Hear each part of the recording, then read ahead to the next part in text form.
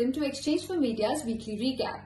This week at the Maddies 2023, Mindshare India won Agency of the Year award with 6 gold, 12 silver and 5 bronze medals.